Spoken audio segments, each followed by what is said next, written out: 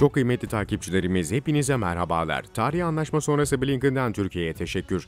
Değerli izleyenler, ABD Dışişleri Bakanı Blinken, Birleşmiş Milletler Türkiye, Rusya ve Ukrayna arasında imzalanan ve Ukrayna limanlarından tahıl ürünlerinin güvenli çıkışını sağlayan anlaşmayı takdir etti. ABD Dışişleri Bakanı Antony Blinken, İstanbul'da Cumhurbaşkanı Erdoğan'ın himayesinde Türkiye, Rusya, Ukrayna ve Birleşmiş Milletler arasında tahıl ve yiyecek maddelerinin Ukrayna limanlarından emniyetli sevki girişimi belgesinin imzalanması ile ilgili yazılı bir açıklama yaptı. ABD'li bakan açıklamasında, Birleşmiş Milletler Türkiye Cumhuriyeti, Ukrayna ve Rusya, Ukrayna'nın Karadeniz üzerinden ihracatını sürdürmek ve dünyanın her yerinde ihtiyacı olanlara milyonlarca ton Ukrayna tahılı ulaştırmak için bir plan taahhüdünde bulundu.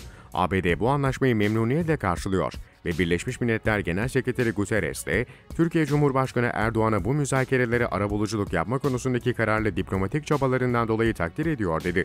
Anlaşmanın Rusya-Ukrayna savaşının geniş kapsamlı etkilerini ele alma yolunda olumlu bir adım olduğuna dikkati çeken Blinken şöyle devam etti.